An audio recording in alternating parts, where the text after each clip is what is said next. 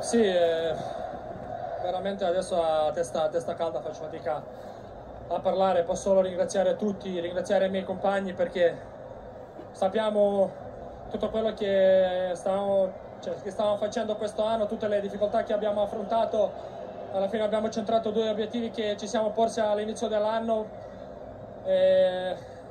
Rimane peccato per, per lo scudetto, però l'Inter ha vinto secondo me, secondo tutti,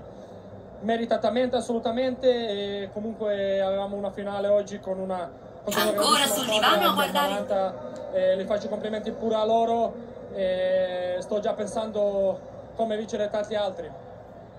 hai disputato una partita da, da, leone, hai lottato tantissimo tu, i tuoi compagni a difendere il tuo gol, c'è stata anche l'occasione del raddoppio che è stato annullato, però non vi siete mai disuniti. La domanda è come mai ultimamente in campionato non vi riuscivano partite così? Eh, secondo me siamo entrati in un momento dove avevamo fatica di uscire, però io posso garantire che noi non abbiamo cambiato niente,